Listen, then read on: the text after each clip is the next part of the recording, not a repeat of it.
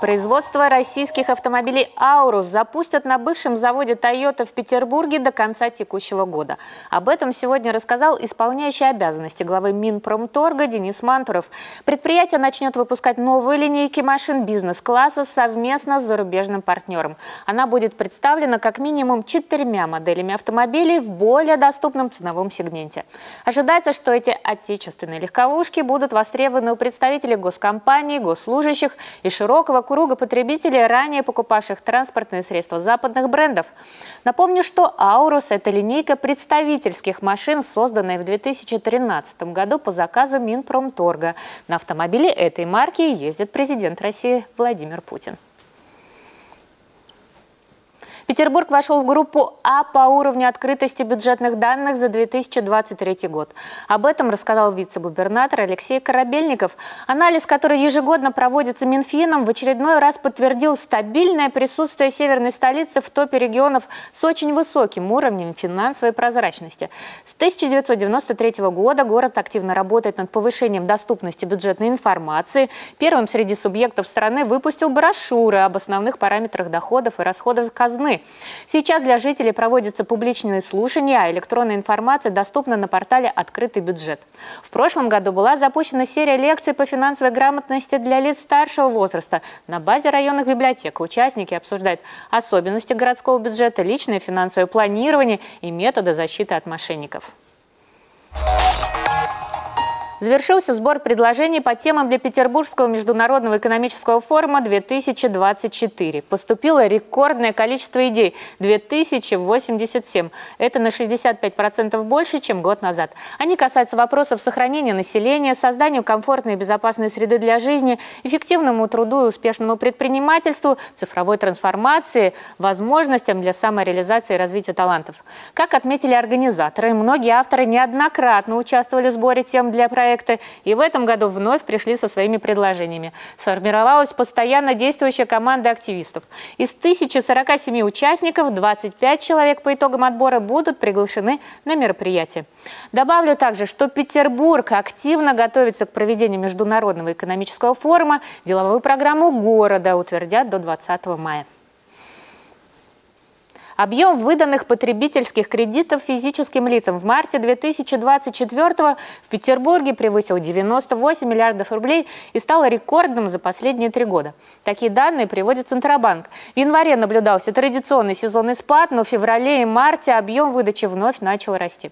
Всего за первый квартал этого года жители оформили таких займов на сумму, превышающую 252 миллиарда рублей. Это на 26% больше, чем в январе и марте 2023 года.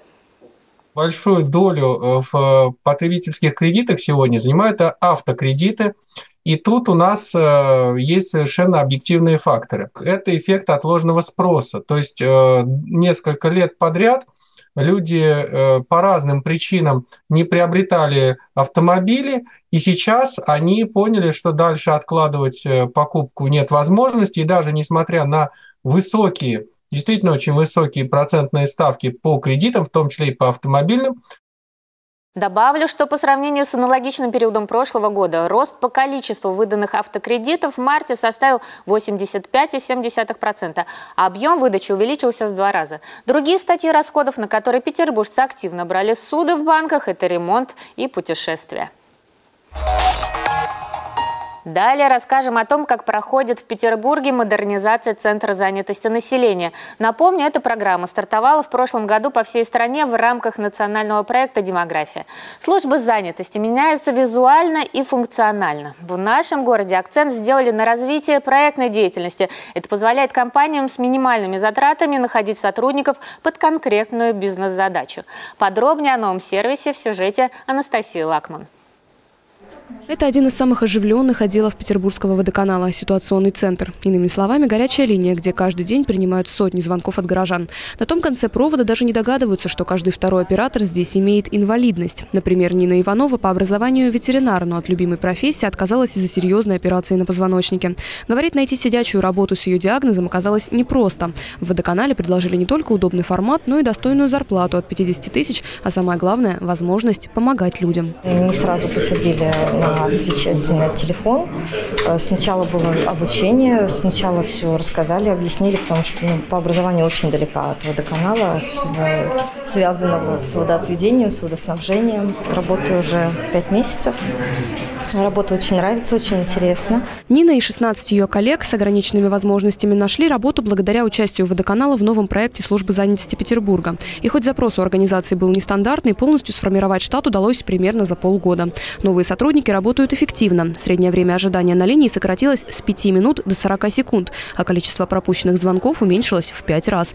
Итого работодатель повысил производительность труда, минимизировал расходы на поиск, найм и адаптацию работников, а еще выполнил квоту на трудоустройство количество людей с инвалидностью. Напомним, она согласно закону составляет до 4% от среднесписочной численности. У кого-то со зрением проблемы, онкология есть, сахарный диабет. Вот два человека с э, позвоночниками на базе центра занятости. Данные коллеги были обучены навыкам телефонных переговоров, был для них специально сформирован курс. Вот после этого они уже знакомились с тонкостями кстати, инженерного искусства на рабочем месте. Служба занятости сегодня – это не просто биржа труда. Там создано семь новых отделов, которые специализируются на поиске работников для основных отраслей экономики Петербурга – логистики, благоустройства, энергетики, промышленности, фармацевтики. И все это в условиях низкой безработицы. По статистике, число активных вакансий в Центре занятости превышает 60 тысяч, а количество обратившихся соискателей – менее 14 тысяч. Нам действительно сложно работать только с теми, кто у нас